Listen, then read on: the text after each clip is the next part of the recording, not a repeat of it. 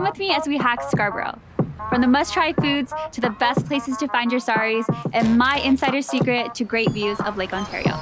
Let's explore the city with the Chevrolet Trax.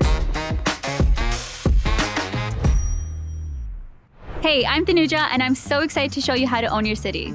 I was born and raised right here in Scarborough, so I know the great spots. I'm a content creator focusing on all things beauty, fashion, and lifestyle, and Scarborough definitely influenced that.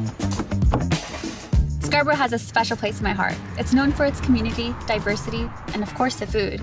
These are just some of the reasons why I love it.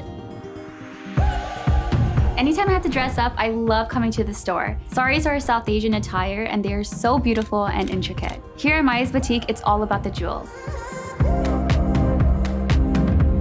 This is so pretty. I love it. So this is the sari and blouse I picked up. How stunning are these earrings? Whenever I need to head to the south end of Scarborough, I usually use Birchmount Road. On the way, Chachi's Chai Cafe is so good. I always get the rose faluda.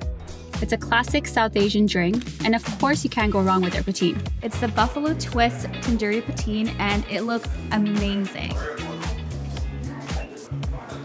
It's so flavorful, and you can really taste the tandoori flavor. 10 out of 10. Time to go check out one of my favorite spots. It's in the south of Scarborough, and it's one of my insider secrets.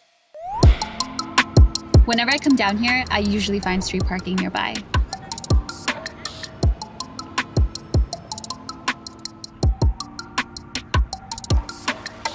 I actually found this location by accident when I was trying to go to Scarborough Bluffs, but it was way too packed. This place has amazing views of Lake Ontario without the busyness of the bluffs.